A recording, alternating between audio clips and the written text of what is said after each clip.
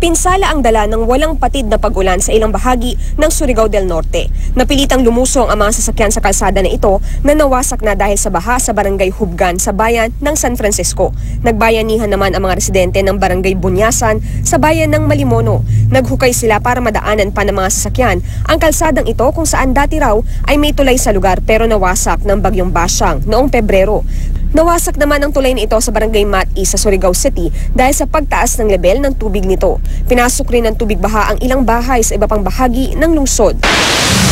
Flash flood at kawalan ng supply ng kuryente naman ang pumerwisyo sa mga residente ng barangay Limulan sa Lebak, Sultan Kudarat. Nawasak rin ang ilang kasada sa naturang lugar na malapit lang sa ilog.